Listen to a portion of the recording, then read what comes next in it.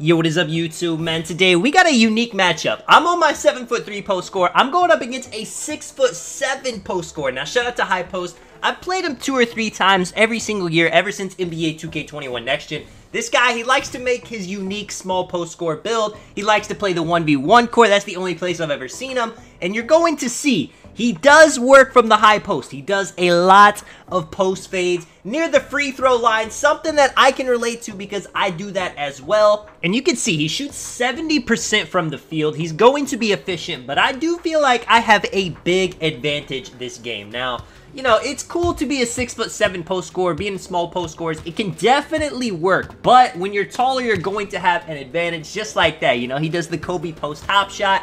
That, a lot of the time, can get you space unless they're really on it. But I know that move's coming. I know which angle I need to jump to get the block. I wasn't even expecting to get a block. I was just trying to get a good contest. And right there, unfortunately, the block bites me a little bit because he ends up scoring anyway. I go to the post hop shot against him, showing him that I'm here to play.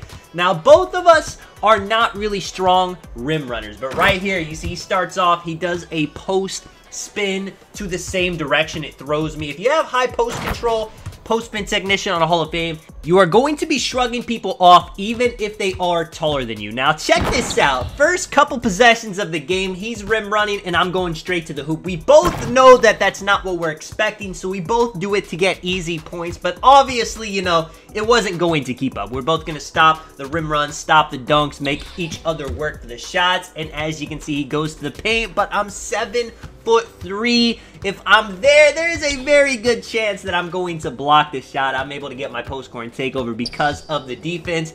Also, with the offense I'm playing as well, his shot clock is getting low. He goes to the post hop. I jump. It's red. So far, so good on actually defending his post moves. But you're going to see it's not going to quite keep up. I got the post scoring takeover now. I try to do the post spin off him, get to the paint, get an open close shot match right there. He is not going to have a chance to contest it at all right here.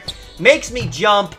But his up and unders, again, that would get a lot of players, and I'm not gonna lie, he might get one in this video, but we are ready for it. Now, the advantage he is 100% going to have against me is he's going to get plucks. It is what it is. It's what I gotta deal with being a tall post scorer with low ball handling. Even with unpluckable, people are still going to get plucks on you. Playing good defense on his post moves, though, he tries to go to the post spin, which, you know, again, might work against a lot of players, but I am kind of anticipating it. I've seen this before. Check this out, though. He can't get the post spin off. He goes up right here, goes up with an up and under like he did before, and this time he's able to green it. It's only a yellow contest me with the ball now.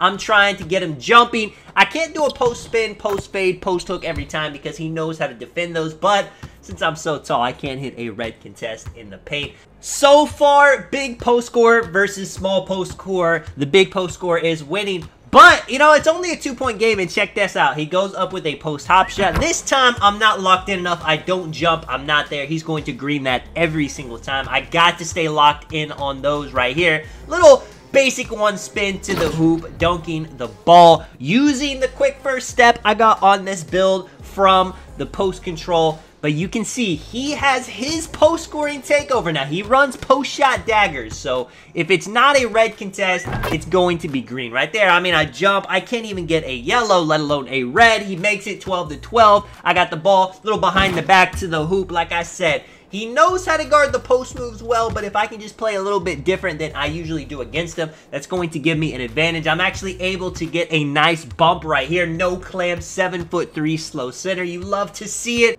And I'm not gonna lie, him outdoing me at the Kobe post hop shot, it's a little bit insulting, so I need to get one right here. Right here, he tries to do a post hop, but it ends up giving him a fadeaway. I've done that before. That is very unfortunate, but for me, that is a nice little boost. If I can score right here, it's going to be tough for him to come back. I go for the Kareem Skyhook. He's all on top of it, though. Unfortunately, blocks it. Sometimes a block just leads to a score. Anyway, 18 to 12 now. All I need is one more stop to really secure this game. He goes to the post hop. I jump. Again, it says open when I think maybe it could be a yellow. That is absolutely why the post hop is one of the toughest things to defend right here. Jumping back. He jumps. He gets yellow, but in post shot, daggers take over. It's not going to stop it right here.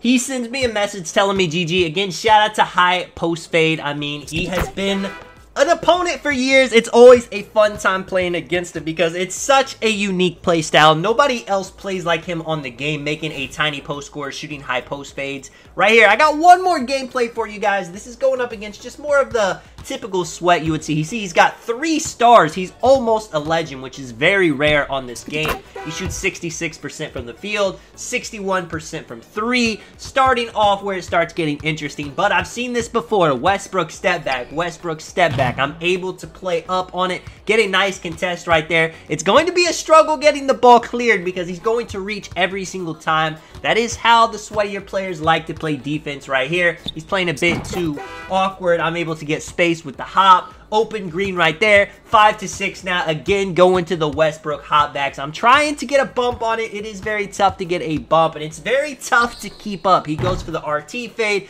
It is wide open. Thankfully, he misses. That's pretty big for me. Now I can kind of get a cushion on this lead, which I am going to need. He's going to be able to get threes at a more efficient rate than I will. It's just, again, being 7 foot 3, it's not like I can really create my own three-pointer with my speed, with anything else. You know, I can try to do a post fade 3, a post hop 3, but even if he jumps, he's going to be on it right here. He thinks I might hop. I end up just going with a straight Pro 2 fade right there, 7 to 10. But as you're going to see, I mean, obviously, I can't keep it up. He's just much too fast. I'm trying to take away the three, give up the rim run if I have to. Right here, I actually defend it decently well, but like I said, he's going to get steals. He's going to make me pick up the ball like he does right here. He does it again the next possession after he scores, but actually, check this out. I'm able to kind of drift him around me, get an open layup like that. He definitely should not have moved. He should have stayed under the basket. 14 to 14, getting the space, greening the post hop, giving up the dunk, but